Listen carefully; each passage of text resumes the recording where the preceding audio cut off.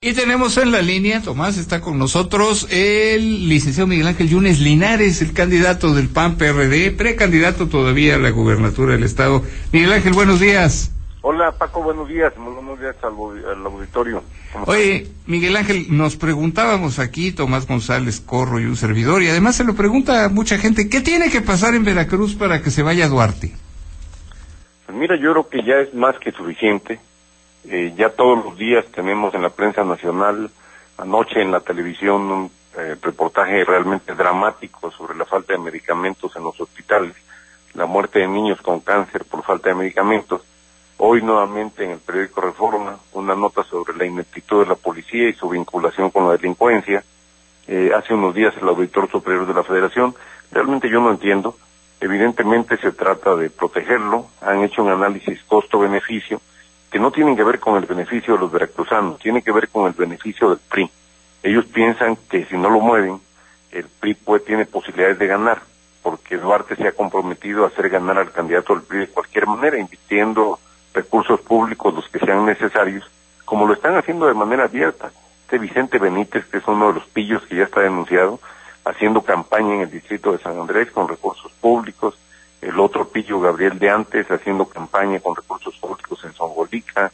Es decir, Duarte se ha comprometido a seguir tirando el dinero de los veracruzanos para beneficiar al PRI y seguramente por eso lo protegen. Pero la protección le va a durar ya muy poco tiempo. ¿eh? Entrando al gobierno del Estado, esto va a cambiar, yo me he comprometido a hacerlo, lo vamos a llamar a cuentas, no solo por lo federal, sino algo muy importante donde hay un hueco enorme, que es el recurso público estatal, el que no está auditado, el que han calificado en la legislatura como perfecto, no han encontrado ninguna falla en la aplicación de los recursos, pero realmente ahí hay un hueco tan grande o más grande que en los recursos federales que han llegado a Veracruz.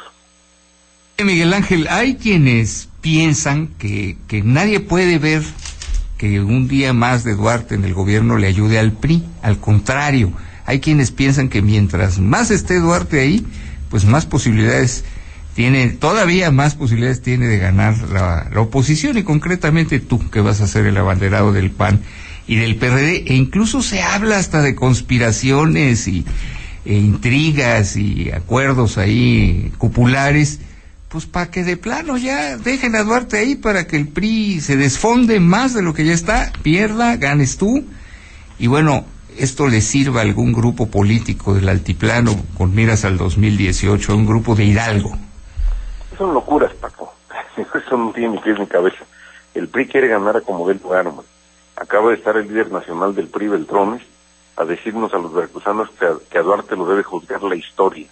Es decir, no los jueces, que Duarte no devuelva, sino que lo juzgue la historia. Es decir, dentro de 50 años, que en algún libro de historia aparezca que Veracruz tuvo un ladrón como gobernador, y nada más. No, el PRI quiere ganar como de lugar y están haciendo lo que han hecho siempre para ganar, utilizar dinero del Estado, utilizar dinero sucio, hacer todo. Te ponía el caso de estos dos tipos que trabajan para Héctor, evidentemente, Vicente Benítez y Gabriel de Antes, que están denunciados ante la, ante la Procuraduría General de la República por desviar miles de millones de pesos, miles de millones. De estos miles de millones que deberían haberse destinado a la salud, a tener medicinas en los hospitales para los niños con cáncer, a la educación, a la seguridad. Estos pillos están trabajando para el PRI. Entonces, la relación costo-beneficio, repito, no es beneficio para el pueblo de Veracruz, es beneficio para el PRI. Entonces, ellos han hecho un análisis de qué es peor, si Duarte se va o si Duarte se queda. Y no pierdan de vista algo.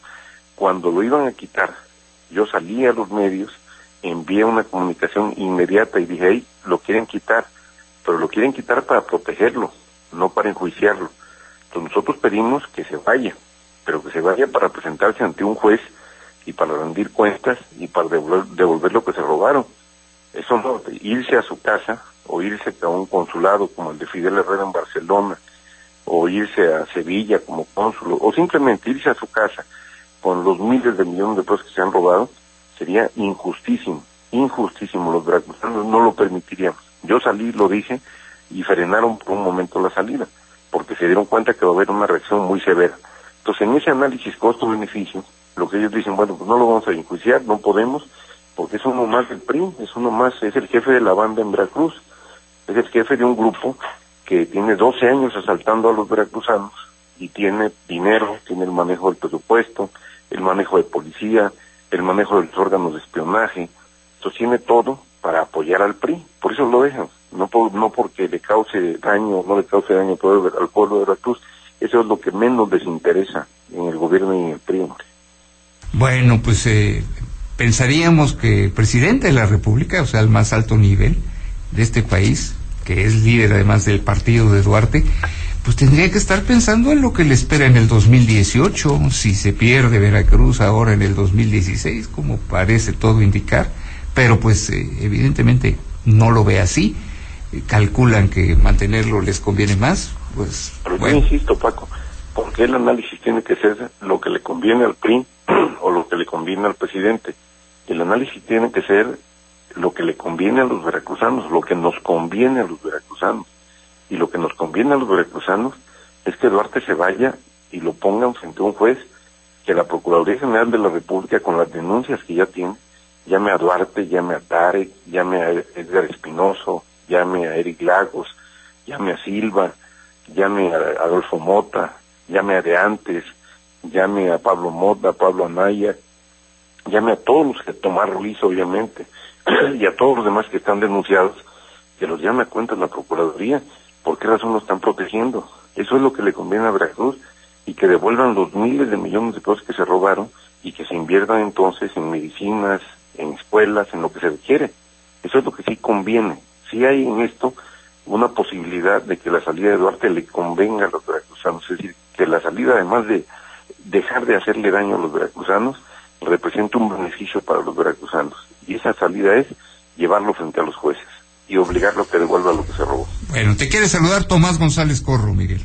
¿Qué tal, Miguel? Oye, en el eh, en la lógica que has estado comentando hace unos instantes con relación a toda este eh, forma de, de, tratar de hacer ganar al PRI bajo cualquier circunstancia, yo te pregunto tu postura respecto a lo que pasó en el OPLE, en el órgano electoral de Veracruz, con la caída de Víctor Moctezuma como secretario ejecutivo, el principal operador y mapache electoral desde los órganos electorales de Javier Duarte de Ochoa, que fue quien le operó su, su candidatura en, en Córdoba, cuando fue candidato a diputado federal y, y Víctor Moctezuma era vocal de, de la distrital allá en Córdoba del, del entonces IFE. Eh, y bueno, eh, toda una serie de ilegalidades que hay en, el, en ese órgano electoral, el OPLE, que incluso pues, han estado reclamando que tampoco tienen dinero para operar la elección. ¿Cuál es tu postura, Miguel Ángel, con la caída de Víctor Moctezuma y además cuál es el impacto finalmente de quien iba a ser el encargado de organizar la elección? ¿Acaso no sería mejor que fuera el INE el que atrajera la elección y la organizara?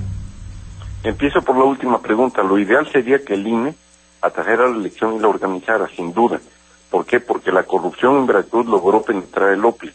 Ya cayó Moctezuma y cayó por una resolución que realmente es penosa para él y para quienes lo impulsaron. Lo que se dice con toda claridad es que además de no ser idóneo por no reunir las calidades, las cualidades eh, que señala la ley, no goza de buena fama. Es decir, el propio tribunal señala con mucha precisión que tiene mala fama, que tiene fama pues, de ladrón de elecciones. Pero hay algo más. Yo creo que Bonilla, el presidente de la OPE, debiera poner sus barbas a remojar, porque él tampoco es idóneo.